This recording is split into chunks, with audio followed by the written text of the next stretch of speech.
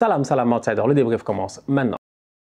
Le Paris Saint-Germain perd aujourd'hui 3-1 à domicile face à Lorient. Franchement, sincèrement, les Parisiens, ils veulent quoi? Nous, on veut juste savoir qu'est-ce qu'ils veulent réellement. En cette fin de saison, quand même, il y a un minimum, je pense, à respecter. Le minimum à respecter, c'est au moins les supporters. Si tu n'as pas été capable de performer comme les gens s'attendent à ce que tu performes en Ligue des Champions et dans toutes les compétitions où tu dois performer, eh ben, au moins, finis bien ton championnat. C'est ce que devraient faire les Parisiens. Ils arrivent aujourd'hui à domicile. Je dis bien à domicile. Face à une équipe qui ne les a pas battus depuis près de 13 Aujourd'hui, tu joues face à Lorient chez toi, à domicile. Qu'est-ce qui justifie ce début de rencontre catastrophique? Je veux comprendre. Est-ce que c'est la pression du public?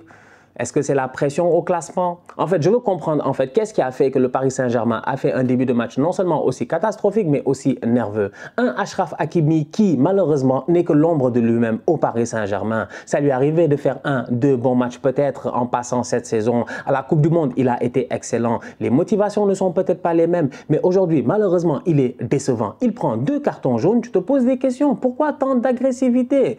Aussitôt dans la rencontre Pourquoi être en retard comme cela? Donc du coup, à la minute où tu as Ashraf qui prend un carton euh, rouge, tu te poses des questions à savoir comment ils vont faire pour tenir défensivement. Mais le Paris Saint-Germain, sincèrement, ils ne sont pas sérieux, mais défensivement, ils sont très nuls. Ils sont très nuls.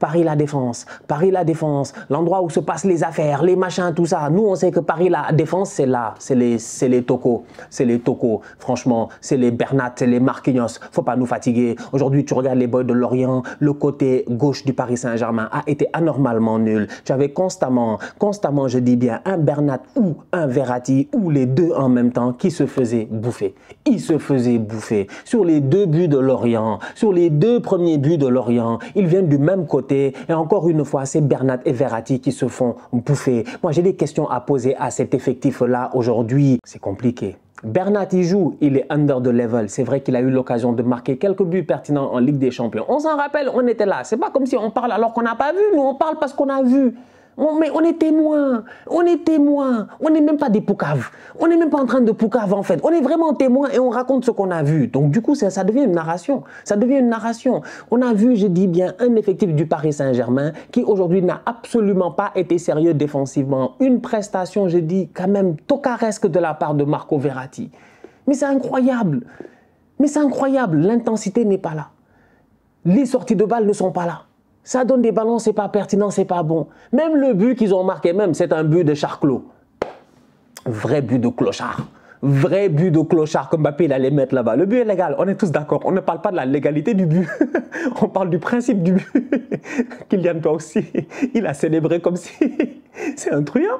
C'est un truand, on est d'accord, on est d'accord. Le but est légal, il n'y a pas de problème, il n'y avait pas de sifflet, il n'y a pas de faute, tout ça, on est d'accord, il n'y a pas de souci. Mais cependant, c'est pour dire à quel point il n'y a rien de clair dans ce qu'ils font. Aujourd'hui, la performance qu'ils nous ont faite, elle est grave. Mais les buts, là, les ballons qui traînent dans la surface, le boy, il quitte sur le côté gauche, il fait tac, tac, tac, il rentre, il colle la ligne, il fait passe en retrait. Tu vois les Marquinhos là-bas, les Sergio Ramos là-bas. Et après, tu as Donnarumma qui est en train de courir là-bas, parce qu'il y a Bambadien qui est en train de le courser. C'est incroyable. Jamais j'aurais cru qu'un Parisien se ferait courser au Parc des Princes par un Marseillais. C'est incroyable. C'est grave. Ils sont chez eux, non? C'est pour ça que je demande en début de débrief. La pression, elle est où? Ça veut dire que ce n'est pas un problème de pression, c'est juste un problème de motivation. Ils ne sont plus motivés. Ils n'ont plus vraiment envie. On ne sait pas si Messi va rester ou partir. Kylian, normalement, après la saison prochaine, il va sûrement se barrer. Donc, en fait, la vérité, elle est là aujourd'hui. Qu'est-ce que tu veux faire avec ce PSG-là Sincèrement, moi, j'ai de la peine pour les supporters. Voilà. J'ai de la peine pour les supporters. Parce que moi, je pense que les supporters du Paris Saint-Germain, ils mériteraient quand même un tout petit peu, surtout certains supporters, ils mériteraient un tout petit peu plus de respect de la part de leur euh, club, de leur effectif. Il y a des gars, ils sont là, chaque week-end, ils sont là. Chaque week-end, ils supportent. Chaque week-end, ils y croient. Chaque saison, ils vont te dire, c'est notre saison. Tu regardes encore une fois, on n'est même pas encore rentré dans le mois de mai. On n'est même pas encore rentré dans le mois de mai. Demain, 1er mai, fête du travail. C'est même pas encore demain qu'ils ont déjà arrêté de travailler. Ils sont déjà au chômage technique. Ils sont déjà au chômage technique. C'est incroyable. Il reste encore 5 journées de championnat. Et si Marseille se gère face à Auxerre, eh ben Marseille risque de revenir à 5 points du Paris Saint-Germain. Le championnat n'est même pas encore plié. Ils ont toujours leur carte en main. Mais c'est pour dire à quel point la performance qu'ils ont faite aujourd'hui, elle est vraiment under the level on va attaquer ici le pressing offensif. Mais est-ce qu'il y a même un pressing au milieu de terrain? Mais en fait, est-ce que les gens qui parlent, ils regardent le PSG Moi, je regarde bien le PSG. À ah, chaque semaine, je les regarde et je... Tu veux que Messi et Mbappé, ils aillent presser, d'accord, mais même si eux, ils vont presser, est-ce que derrière, ça va suivre? Mais Verratti ne peut plus rien presser. Verratti ne peut plus rien presser. Je vous l'ai dit la, dernière fois, je vous l'ai dit, Marco Verratti, il n'arrête pas de tomber comme les cendres de sa clope. Vous êtes là en train de nous fatiguer, à vouloir nous faire croire que Verratti, Verratti 2027, Verratti 2028, contrat prolongé, le futur avec Marco. Mais...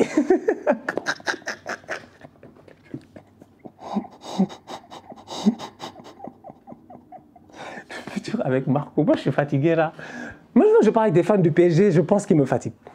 Je ne sais pas. Aujourd'hui, quand j'ai vu le match face à Lorient, j'ai dit c'est pas sérieux. Comment est-ce qu'en fin de match, ils montent tous comme ça? Tous comme ça. Ils sont tous montés. On est à la 86e, 88e, ils sont tous montés. Il y a du temps additionnel, je ne sais pas. Mais laisse au moins deux joueurs derrière. Ils sont tous montés, sauf le gardien. Tu as tous les Parisiens. Neuf Parisiens, all offense, sauf le gardien qui est lui au milieu de terrain. Évidemment, long ballon, il est là en train de courir pour essayer de se replacer. Bambadien aurait pu être plus méchant. C'est que Bambadien... Bambadien, quoi. Bamba, lui aussi.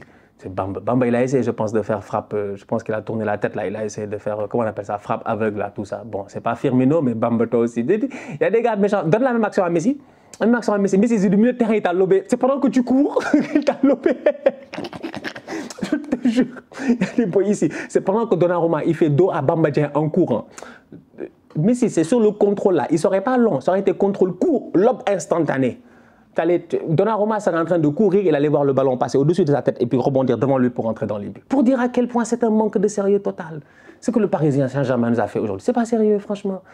Tu peux perdre. Il n'y a pas de problème. Perdre, ça fait partie du sport, ça arrive. Le PSG peut perdre des matchs, même s'ils en ont trop perdu. Quoi 9 défaites en 2023 6 en championnat cette saison, c'est incroyable. En fait, ils ont trop de défaites, même pour être champions. C'est parce que les autres ne se gèrent pas derrière. C'est parce que les autres ne se gèrent pas derrière. Mais ils ont même, pour moi, trop de défaites pour être champions. Lens, ils ont 4 défaites, 9 matchs nuls. Lens, ils avaient fait peut-être moins de matchs nuls. Ils seraient devant, c'est vrai. La vérité, elle est là, en fait. Le PSG a fait une de ses pires saisons. Mais Galtier, Galtier, il attend quoi pour partir? Moi-même, j'avais dit ici que ça ne me dérange pas que Galtier y reste. Mais quand je vois sa tête là, il est là, il est fatigué, il est fatigué, il a un stylo, il mordit le stylo. On aurait dit nous au primaire. Tu mordis le stylo, pourquoi? Nous, on mordillait le stylo parce qu'on n'avait pas appris nos leçons. Donc, on savait qu'on était des tocards et qu'on allait avoir des notes médiocres et que tu allais rentrer à la maison et que ton père allait te ramasser et ta mère, je dis bien, allait te... Ouais. Mais oh, mais nous tous, on savait qu'on était en danger. Toi, tu, il est où ton problème, Christophe? Il est où ton problème? Pourquoi tu l'as mâché ton stylo? Tu écris quoi? Tactiquement parlant, le PSG a une semaine à chaque fois pour préparer un match pour venir nous faire ça. Ah, je suis désolé, franchement, il faut nous pardonner. Il faut nous pardonner. La raison pour laquelle on parle autant du Paris Saint-Germain, c'est tout simplement parce que c'est le Paris Saint-Germain. Et la saison prochaine, on va s'attendre à ce qu'ils aillent peut-être en Ligue des Champions, qu'ils aillent en Ligue des Champions pour gagner la Ligue des Champions, excusez-moi. Donc, quand tu les vois en ce moment, tu te poses des questions à savoir comment va être la saison prochaine. En fait, il y a trop de boys, ils sont under the level. Marquinhos n'a plus de niveau quand même, franchement.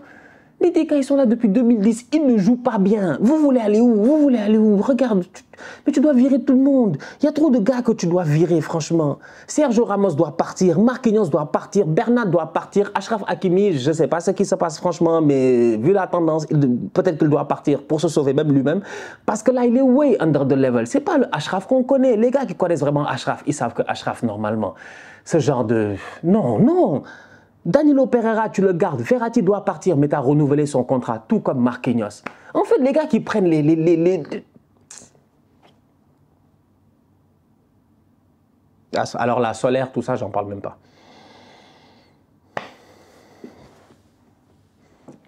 Messi aussi doit partir. Messi, casse-toi. Va jouer avec les Lamine Yamal là, là-bas. Et puis laisse étiqueter. Bref. Non, franchement, je regarde le match face à Lorient aujourd'hui. Pour moi, c'est une non-performance. Et je ne comprends pas où est-ce qu'ils veulent aller, en fait, le Paris Saint-Germain. Normalement, tu peux te dire qu'il y a pas de bons joueurs et tout, ou quoi que ce soit. Mais pourquoi sur le banc, en fin de saison, une fois que tu as déjà toujours tout joué, pourquoi Zahir Emery ne rentre qu'à la 80e minute Alors qu'à chaque fois qu'il est rentré, il a donné tout ce qu'il avait? Pourquoi tu n'essaies pas de construire avec ces gamins-là, même s'ils sont jeunes, en cette fin de saison? Pourquoi tu leur donnes pas leur chance? Pour qu'eux-mêmes, ils se disent, on a apporté notre pierre à l'édifice en cette fin de saison. Que même si Paris a été champion, même si la saison a été pourrie, eh ben nous, en tant que jeunes, moi, en tant que Zahir Emery, moi, en tant que euh, moi en tant que, je ne sais pas moi, euh, même les petits là, les, les garbiers, les bichouabous, moi en tant que tous ces petits là, voilà. J'ai amené ma pierre à l'édifice en cette fin de saison, j'ai tenté quelque chose, on a réussi à être champion, machin, tout ça, je sais pas, il y a tout un storyline que tu dois avoir, mais jusqu'à présent, tu fais jouer des anciens tocards. Des tocos, franchement. Mais Verratti, moi, moi franchement, Verratti, il m'exaspère. Ça, c'est personnel là, mais moi, Verratti, il m'exaspère. Il m'exaspère. Je ne peux pas comprendre comment, jusqu'à présent, au Paris Saint-Germain, ça compte sur Verratti. Mais pour aller où? Pour aller où? Le niveau de Verratti est juste faible. Faible. La dernière fois, j'ai lu quelque part quelqu'un qui disait que Verratti n'a pas évolué depuis Laurent Blanc. Mais quand tu regardes objectivement, c'est vrai. Mais il a fait quelle, quelle, évolution pour que tu renouvelles son... Tu sais quoi, un renouvellement de contrat? On renouvelle un contrat quand quelqu'un a rempli son contrat donc remplir son contrat, c'est quoi? C'est être performant, être bon. Franchement, tu as donné ce qu'on attendait de, toi. Et là, pour te récompenser, on s'est dit, on va renouveler ton contrat. C'est ça le processus de renouvellement d'un contrat, normalement, si je ne me trompe pas. Et ça, je pense dans toutes les disciplines. Dans toutes les disciplines. Sportif, bien entendu. Aujourd'hui, Verratti a fait quoi durant toutes ces années-là pour mériter réellement qu'on lui donne encore un nouveau contrat? Pourquoi? Pourquoi? Tu n'as pas le leadership qu'il faut. Marquinhos, la même chose. Ça me parle de peut-être garder Sergio Ramos. Ah, en tout cas, nous, on va être là, on va être là au cinéma. Donc, euh, rendez-vous euh, la semaine prochaine euh, pour voir. Et en voyant si Marseille va se gérer, rendez-vous la semaine prochaine face à 3. On va voir ce que le Paris Saint-Germain va faire. Et, et, voilà. La famille, on se capte très bientôt pour un nouveau débrief. D'ici là, on continue à liker, on continue à partager. On s'abonne, on s'abonne, on s'abonne. On est ensemble, on reste en santé. C'est le plus important. Tout ça,